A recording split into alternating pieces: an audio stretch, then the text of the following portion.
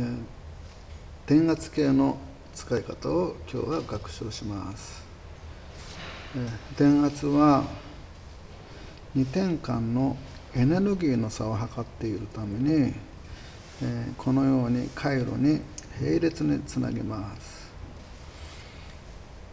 赤い端子は電池のプラスの側に黒い端子はマイナスの側に。乾電池2個だと3ボルト以下なので3ボルトの端子につないでます。今この2点間の電圧は約2.5ボルト。ということになります、えでは豆電球1個分ではどうでしょう。はいこちら側は約1.2ボルトぐらいですね並列につなげます。こちら側は1.3ボルトぐらいです。したがって1.2と1.3ボルトなので合わせて